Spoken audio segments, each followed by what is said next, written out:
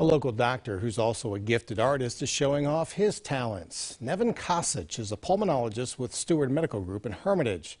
He started painting 18 years ago with his mom and aunt, but never taken any classes. Kosic's specialty is watercolors. He's made more than 300 pieces.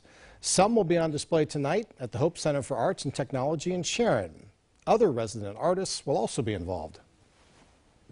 This exhibit is uh, a start, and hopefully, um, I'll be invited to do it again, and I wouldn't mind. And uh, I think that um, the the center is awesome, and uh, it just uh, needs a little bit more more attention. Our mission is to meet people where they are and help them find uh, the right purpose in their life. We do that through the arts, and we do that through adult job training.